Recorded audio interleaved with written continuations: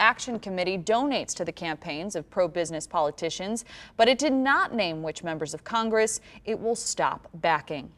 The Department of Justice says it will not pardon people involved in the Capitol riot. Department officials say there are fake social media reports claiming there would be pardons. So far, more than 80 have been arrested.